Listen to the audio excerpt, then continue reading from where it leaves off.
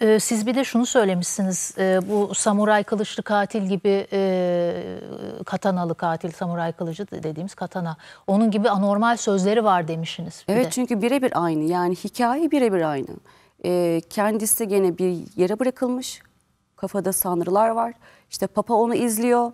Ee, Putin'in arkadaş beni dün Put- Putin'e şikayet etmiş. Putin etiketlemiş beni şikayet etmiş. Yani e, hani bunlar komik ama e, şöyle bir şey var. E, saldırganlaştığı dönemler de var. Evet insana çok komik gelen e, mesajlar da var. Ama ona göre çok ciddi şeyler bunlar. Çünkü Mesih olduğu için Papa filan peşinde bu kişinin. Yani ciddi anlamda çok uçuk bir inanç içinde ve çok tehlikeli e, bir kumrudan haber aldığını e, zannedip sokakta birine saldırabilir. Çünkü kumrularla falan konuşuyor. Hani beyaz bir kumrunun fotoğrafını gönderiyor. Tamam geliyorum aşkım diye altına mesaj yazıyor. Şimdi e, bunu bu Çünkü insana- sizden o Tabii, beyaz tabii, sizden ona gel mesajı, gel çağrısı Öyle olduğunu zannediyor. zannediyor. Evet o yüzden. Hocam bu tamamen sizin alanınıza giriyor Evet, şu anda bu konu. Zaten söylüyor Ece Hanım. Ee, ne yazık ki psik- e, psikotik, psikiyatrik rahatsızlığı olan tedavi olması gereken ve oldukça da zor tedavisi. Çünkü bu kişilerde Yok. içgörü mekanizması bozuk. Yani içgörü ne, ne yaptığını anlayabilsin. Onu anlayamıyor. Ee, takılmış bir olaya o şekilde bir delizyon geliştirmiş. Onun gerçek olduğuyla ilerliyor. E tabi orada şimdi hani burada tedavi de kız bir süre kalabilir hastanelerde uzun süre kalamaz. E, bir şekilde e, vasi bile ona söz geçiremez. Yani bir vasi bile atarsa ona nasıl söz geçirecek? Yani gerçi bir de e, uyuşturucu kullanıyorsa, uyuşturucu. ayrıca uyuşturucu kullanıyorsa, ilaçlarını almıyorsa, ilacı var. Onları almıyorsa, uyuşturucu kullanıyorsa bu çıkılmaz bir şey. Kısır döngü. E, e, bütün e, delizyonları ve takıntı haline getirdiği olay da Ece Hanım olunca onun hayatı da yani e, illüzyon gibi oluyor. Yani çok zor, çok zor bir hayat. Hiç beklemediğiniz bir şey. Ama hani illüzyonda eğlenirsin, e, zevk alırsın bir şekilde merak et. Burada tamamen kasvet ve ne olacağı belli değil. Bir sürü tehditler. E, bunu işte sosyal devlet anlayışı açısından incelenip e, ciddi bir e, karar verilmesi lazım. Yani bu kişi girdiği zaman hastanede uzun bir süre kalması lazım e, ki bu delizyonunu yenebilsin ki bu Bir de- genelde de çok zor. Ha bir de, bir de bununla yaşamak zorunda kalan Evet. kadınlar için ben kaderdaş dedim ki ben de aynı şeyi yaşıyorum. Benim de tırnağını bırakmayacağım, yakacağım seni diyen bir, bir manyak var benim de uzun zamandır e, pe- peşimde. E, şunu bilemiyorsunuz yani hakikaten sizinle kafasında o ilişkiyi dolu dolu yaşıyor. Siz ona sadece ekrandan şöyle bir bütün izleyicilere merhaba derken ona da merhaba demişsiniz ama siz aslında ona işte kumrular göndermişsiniz. Ondan çocuk yapmışsınız gibi illüzyonlar içerisinde ge- yaşıyorlar ve şeyi bilemiyorsunuz. Yani bu hadi Putin seni Putin'e şikayet ettim veya işte beyaz kumru geldi senden bana mesaj gönderdi veya işte 30 Ağustos'ta söylediğiniz o e, beni denize davet etti birlikte yüzmeye diye çırılçıplak soyunup e, denize İzmir'de kendini atmak buna gülelim mi yoksa bu her an aslında namlusu Çok bize büyük dönüp bir tehlike. silah mı? Büyük tehlike yani. Tabii E, işte Korku filmi gerçeği- gibi yani. Gerçeği değerlendirmesi son derece bozuk olduğu için dışarıdan bir söylemle bunun düzelmesi de mümkün değil. E, ilaçlar da burada çok kısıtlı etkili olabiliyor ya da etkisiz olabiliyor. E, bu kişinin e, karşı tarafa zarar verme ihtimali göz önünde tutularak adli bir kararla hastanede tutulması gerekliliği ortaya çıkıyor. Tabii bu hukuksal bir olay haline de dönebilir. Böyle bir karar verilebilir mi? Hocam aslında zaten hukuksal olay da e, Ece Hanım çok güzel ifade etti. Şimdi Türkiye'de adli e, haps, hastane diye bir şey yok.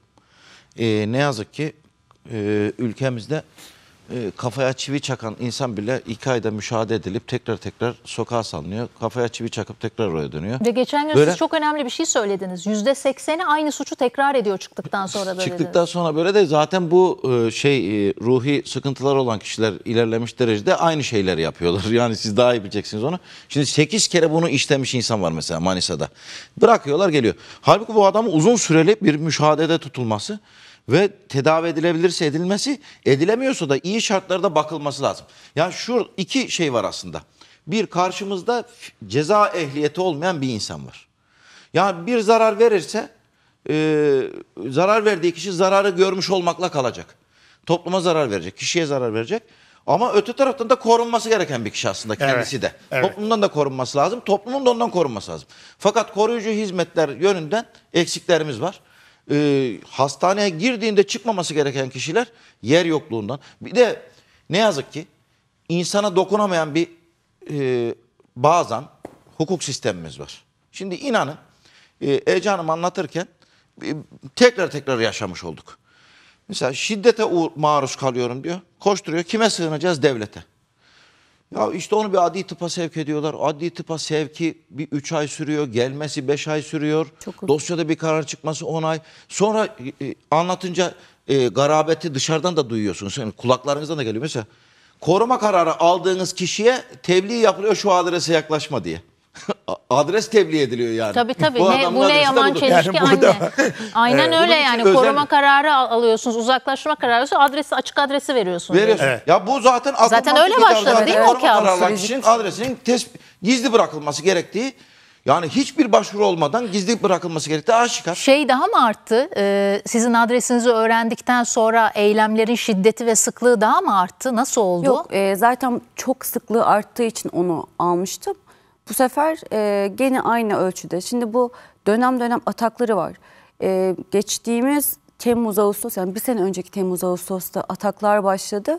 Ben Ekim'e kadar hiçbir koruma aldıramadım. Yani ne kadar mesajları göstersem fotoğrafları etrafında dolaşmasını ve bir haber sayesinde e, tekrardan bir e, koruma ilk defa ilk korumam çıktı. O zaman işte uzaklaştırma da gitti. Gene aynı şekilde devam etti. Bu sefer e, şöyle bir şey oldu. E, benim mahalleme gelmeye başladı. Ama aynı şiddette yani çok bir şey değişmedi. Ne yapıyor mahallenize gelip mesela? Fotoğraf gönderiyor devamlı. İşte arkada kafeden işte ne bileyim etrafta. Yani beni devamlı tedirgin etmekle meşgul. E, bana şöyle bir hani e, zarar verebilirdi. Ama zarar vermedi. Ama şu vakitten sonra verir mi bilemeyiz. Çünkü dediğim gibi akıl hastası. Yani bunun e, bu akşam bir içine gelen bir sanrı, bir iç görüyle ben bunun nasıl davranacağımı bilmiyorum. En az 4-5 tane Twitter hesabı var. Hepsinde farklı karakter. Bir tanesinde emlakçı, bir tanesinde e, fizikçi, bir tanesi yani hep bir Şizofren. tanesinde yazdığın diğerinde yazmıyor zaten. Hani bakıyorsunuz ha şimdi buradaki karakterde, bakıyorsunuz burada saldırgan karakterde. Saldırgan karakter diğer Twitter hesabına girmiyor mesela. Yani o tarz bir ataklar olduğu için e, hep aynı bir ritmi var bunun. Hani şu an hangi karakterde? Şu an saldırgan karakterde. Kullandığı Twitter hesabı belli. Hani o- yüzden artık hani Ve siz aslında geçmiş hayatınızda Adem ve Havva'sınız ve siz aslında e, O hep birlikteydiniz. O hep var. O hep var. Ama siz şimdi bu hayatınızda şu an hatırlamıyorsunuz ve bir türlü ona varmıyorsunuz. Onun da e, yan yana gelmiyorsunuz. Sonuçta hatırlamanız için sizi tekrar gönderecek Evet. ve hatırlatacak. Yani o ışık Bugün- dediği şey o. E, bugün e, işte iki günden beri gene mesihliğini ilan etti ve artık e, dünya yaşamından sıkıldığı için bütün dünyadaki insanları öldürüp dünyayı patlatacağını yani artık dünyadan sıkılmış artık. Yani bunun bizzat mesajını size yayından sonra gönderirim. Dün Twitter hesabında vardı çünkü. E, bir kere e, bu kişi sosyal medyada çok zeki, inanılmaz zeki birisi. Çünkü kurguları çok sağlam ve hiç tanımayan bir insan ilk belki bir iki hafta e, sohbet edebilir. Ve onun sanrıları onaylandıkça, bir başkası tarafından onaylandıkça daha da güçlenmeye başlıyor ama belli bir zaman sonra onu da kaybediyor. E, sosyal medya alanı onun karakterini onaylatabildiği bir yer. Bu yüzden orada çok fevri olabiliyor ama gerçek hayatta o kadar cesur biri değil aslında bence. Zaten ben bu sosyal medya şey Özdemir Asaf'ın şiiri var ya kendi bahçesinde dal olamayan gelmiş bahçemde ağaçlık taslıyor diye. Herkes şey eee, hiçbir şey her, her şeyliğini ilan ediyor yani. Çok da şey olabiliyor böyle insanlar. Peki şunu merak ediyorum. Şimdi eee, öyle bir aşamaya geldiniz ki siz artık buraya geldiniz. Yani bir, bir sesinizi daha çok. Çü- Çünkü ne yaşıyorsunuz? Yani duygu olarak da ne yaşıyorsunuz? Şu anda geldiğiniz aşama nedir? Bize anlatır mısınız? Şimdi ben bu aşamaya aslında hiç gelmek istemedim. Çünkü karşındaki e, hastayı tanıyorum. Yani o hastalığı tanıyorum. Hani şuraya gelmem bile onun daha da hiddetlenmesi demek ama beni zaten buraya kadar kendi getirtiyor şiddetle. Şimdi duygularımdan bahsettiğimde de bundan zevk alacak. Evet son dönemde biraz anksiyetem artmaya başladı. Hiç yoktu. E, daha duygusal oldum. O yüzden zorlanıyorum yani. Evet. Çok haklısınız. Yani bu bunu idare edebilmek de bu bu korkuyu bu bu bu, bu yani maruz kaldığı şeyi idare etmek de kolay bir şey değil. Evet Psikolojide yani kolay işte iki şey. taraflı zorlu bir olayın içine girilmiş oluyor. Öbür tarafta gerçekten hastalığıyla başa çıkamayan, yardıma muhtaç birisi ama verdiği zarar özellikle bir kişiye odaklanmış durumda. Belki onun bu delizyonu zaman içinde değişecek, başka birisine takıntı haline gelecek. Mutlaka e, sosyal devlet anlayışı içinde o kişinin alınıp içeride kalmasını, e, yer yok diye dışarı çık. Çünkü iç, dışarıda kaldığı zaman zarar verme potansiyeli de var. Evet şimdiye kadar zarar vermemiş ama o sanrıları değişirse, git bunu yap derse, e, yukarıdan bir emir geldi derse, Adem Tabii, hava tabii, olduğu tabii. için böyle bir emiri de ben yapacağım derse, işte o zaman çok zor. Yani o emir durduramaz. Bunun geldiğini kesin inanıyordur. Bu yani bu saçma ne yapıyorum diye bir içgörüsü yok. Yok. Bir de şu an elektronik kelepçesi var onu tutan. Hani şu an o yüzden de gelemiyor ama şu an geçen seneye göre arttı çünkü. E, durumu da kötüleşti. E, böyle vakaların tedavisi yok bir kere. E, ya elektroşok tedavisi mi görecek, ilaç tedavisi mi? Hastaneden çıkmaması gerekiyor bu insanın. Ama işte elektroşok ve ilaç tedavileri de çok kısıtlı cevap veriyor bu tür vakalarda. Hep Onun için de bunlar gerekiyor. tekrarlıyorlar. Bir de en önemli problem cevap verse bile ilaç ilacını kullanmıyor. Kullanmıyor evet. Kullanmıyor. Onun yerine de uyuşturucu Uyuşturucu alabiliyor. Söylediğiniz uyuşturucu grubundan öyle- aldığı zaman daha da psikotik oluyor. Tabii. E canım zaten elektronik kelepçe bence başlı başına tutmuyordur onu. Tutmuyor Şöyle, zaten. Böyle bir insana elektro- elektronik kelepçe dedikleri basit bir şey yani. Bileğinize takıyorlar. Sizi polis izliyor. Emniyet güçleri izliyor. Ya bence böyle bir insanı kelepçe dahi tutmuyordur. Tutmuyor. O kelepçenin izlendiği düşüncesi bile tutmuyor. Polisler izlediği için belki yakalıyorlar.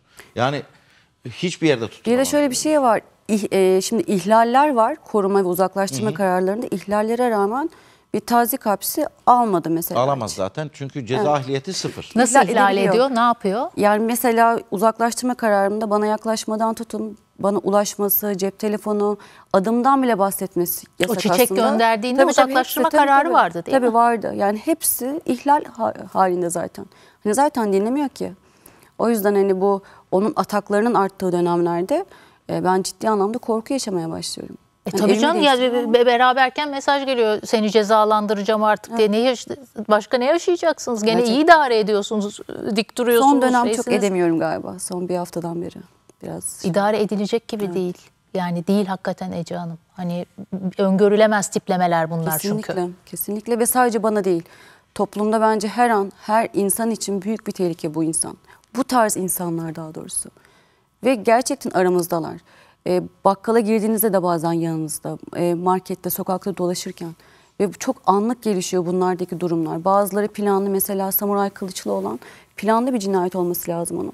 Yani bilmiyorum sonuçta e, şeyini ilk önce çocukları katletmeyi düşünmüş. Daha sonradan vazgeçti ve başka bir kadına yönelmiş. İşte savunmasız gördüğü O herkesi çocuklar ve kadınlar. e, Bir öldürme olayı kafasında beliriyor ama şekil değiştirebiliyor. Yani düşünceler değişebiliyor hızlı bir şekilde. Evet. Orada tesadüfen kime denk gelirse Denk artık. geldi. Yani bu kişi de bunu yapabilecek potansiyelde bir insan.